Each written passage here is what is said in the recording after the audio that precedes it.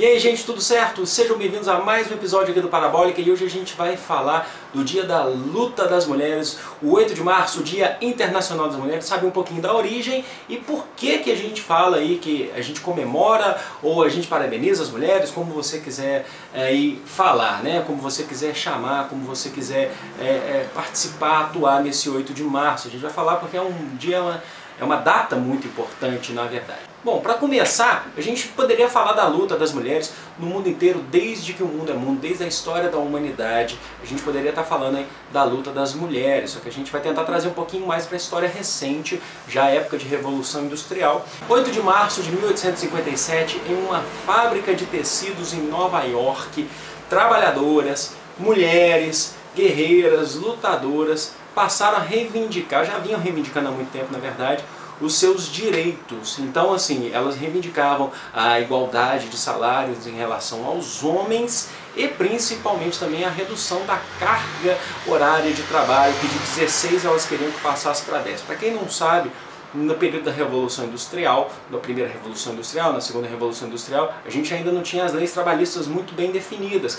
Então, a carga de trabalho, a carga horária de trabalho variava lá de 16, 18 horas, e é um absurdo, logicamente, e as mulheres elas trabalhavam ali é, cerca de 16 horas, na verdade todo mundo, mas elas com pulso firme reivindicar, e além das mesmas condições de salários que elas queriam ter em relação aos homens, nada mais justo, não é verdade?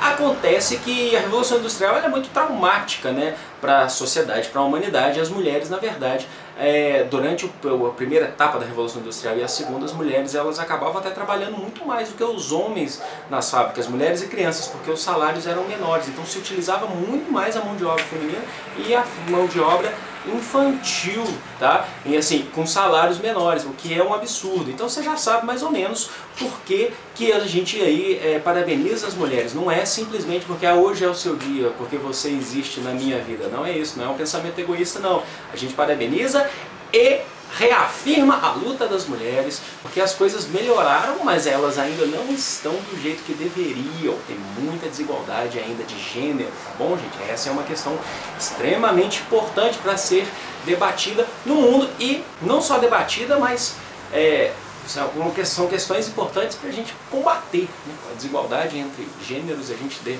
fato tem que combater tá? Essa é uma questão importante. E acabou que o 8 de março vem ali da Conferência Internacional das Mulheres, realizada ali na cidade de Copenhague, na Dinamarca, que definiram que o dia para se comemorar, para se reafirmar essa luta, seria no 8 de março, principalmente por causa desse evento aí das, da fábrica, onde as mulheres passaram a reivindicar os seus direitos nessa fábrica de tecidos em Nova York. É importante que se diga que elas foram duramente reprimidas pelos patrões homens da fábrica.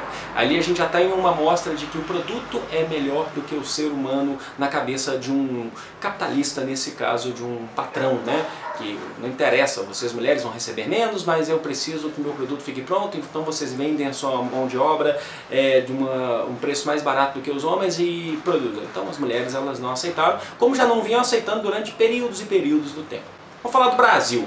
Aqui no Brasil, no período colonial, início do período colonial, a gente está em 1550, 1540, é, o Brasil começou a receber aí porções grandes de homens colonizadores portugueses que vieram para cá para poder construir o Brasil à moda portuguesa aí, e eles não podiam ter relações formais com as Índias porque as índias não eram cristãs, então começaram a trazer órfãs portuguesas para o Brasil forçadas. Os conventos portugueses traziam essas mulheres para casarem com os homens aqui no Brasil, os colonizadores portugueses. Tem até um filme muito interessante que fala sobre isso, que é um filme de 2003 chamado Desmundo, que conta essa história das órfãs portuguesas que vinham aqui para ser forçadas, casadas aí com os colonizadores portugueses. Então a gente já tem aí uma violência é, dupla aqui no Brasil no início da colonização. A violência que os europeus faziam com, faziam com as índias e a violência que eles faziam com as próprias portuguesas órfãs que vinham para cá casar com eles. Mas para frente a gente começa a ver que a sociedade brasileira nunca respeitou as mulheres como deveriam. Se fosse uma senhora esposa aí do, do, do dono de uma fazenda, ela tinha que aguentar calada todas as peripécias de seus maridos, né, de seu marido. Ele podia fazer o que queria e todos os bens estavam no nome dele. Se ela não podia se separar, justamente porque ela não tinha nada no nome dela, e se ela se separasse, ela estava rompendo com o matrimônio, né?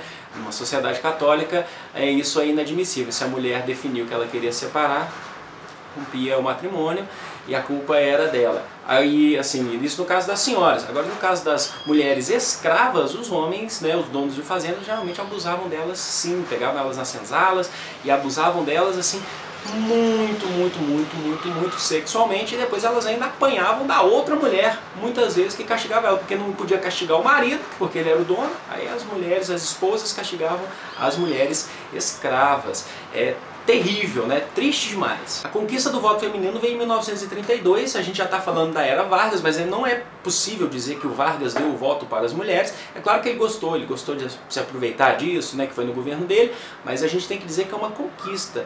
A, a luta pelo voto, pela participação política, na verdade, no Brasil pelas mulheres, ela já é antiga, é, desde o período do Império, por exemplo, as mulheres já manifestavam a vontade de participar politicamente, só podiam ser homens e, e geralmente ricos, tem uma questão de classe social envolvida nisso também, e elas conquistaram o direito a partir dos anos 30, mas a primeira eleição mesmo que as mulheres puderam votar, participar politicamente é, votando, seria ali nas eleições de 1946, que é quando a gente está vivendo aí período da República Populista Democrática, mas foi uma conquista, não foi assim presente do presidente, tá? Foi uma conquista das mulheres de tantas reivindicações de um passado de lutas é, que muitas vezes resultou em sangue e morte para essas mulheres. Então o 8 de março ele não é só para você ficar dando flores, presenteando a mulher por ela simplesmente ser mulher, entre outras coisas. O 8 de março é para as mulheres e para os homens feministas, porque não basta, não, porque não precisa ser mulher para ser feminista, pode ser um homem feminista desde que você atue e, e tenha perseverança nessa causa. Então, o 8 de março é para é, comemorar as conquistas, sim, mas é também para reafirmar a luta feminista, porque tem muitos direitos ainda que estão por ser garantidos. Tem muita coisa, todos os dias tem mulheres apanhando de maridos, tem mulheres apanhando de homens em geral, tem mulheres morrendo nas mãos de homens, tem mulheres morrendo nas fábricas, sendo exploradas sexualmente, exploradas verbalmente, exploradas fisicamente, exploradas no mundo do trabalho, é o famoso assédio sexual, acontece demais. Então, o 8 de março não é uma data simplesmente para você dar um chocolate ou simplesmente dar uma flor, é uma data para reafirmar. E tem aquelas questões importantes também. Tem muita gente aí que tem algumas justificativas muito rasas aí quando vai falar mal do feminismo, quando vai falar mal do 8 de março e o que envolve o 8 de março. Vou dar duas aqui características aí que, de justificativas rasas de homens aí que não fazem estudo nenhum ou não tem noção nenhuma para falar isso. A primeira é aquela que por que, que se existe o dia das mulheres, também quero que exista o dia dos homens. Meu amigo, é, você está sendo muito trouxa quando você fala isso, eu vou falar por que, que você está sendo trouxa.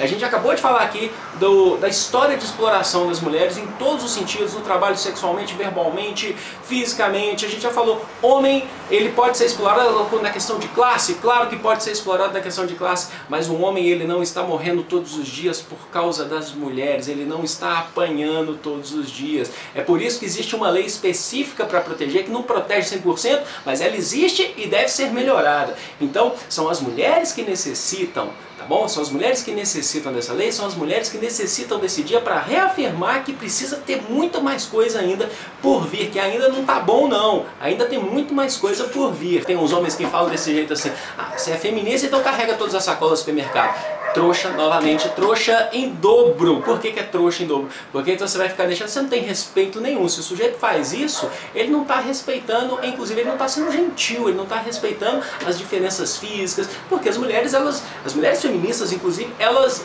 não estão ali é, lutando por seus direitos, tal, mas estão falando que tem, por exemplo, o mesmo físico do homem alguma coisa do tipo. Não, elas querem respeito, igualdade de condições, mas é preciso respeitar o gênero, é preciso respeitar as diferenças. Então você está sendo trouxa em dobro. E dá para ser trouxa em triplo, em quádruplo, ou quanto você quiser, dependendo aí da sua situação. Quanto mais argumento raso você tiver, mais trouxa você é.